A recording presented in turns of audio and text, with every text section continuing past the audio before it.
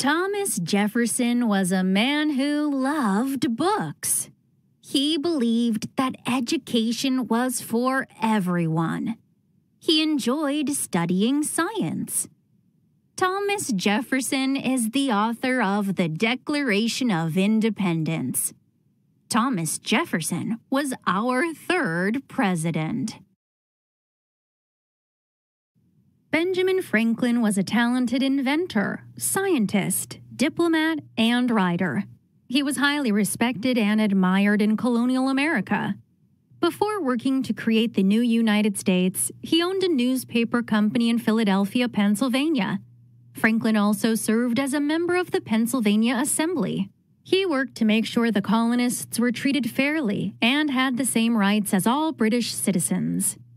In 1775, he served as a representative of Pennsylvania at the Second Continental Congress.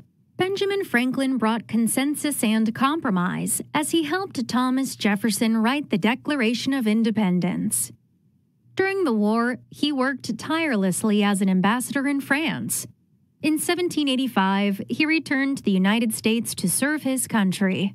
He served as a member of the Constitutional Convention in 1787. Franklin provided his wisdom and expertise to settle arguments and create compromise among the delegates. His ideas for government were the model for the House of Representatives and the Senate. He signed the Constitution in 1787. Benjamin Franklin signed both the Declaration of Independence and the Constitution.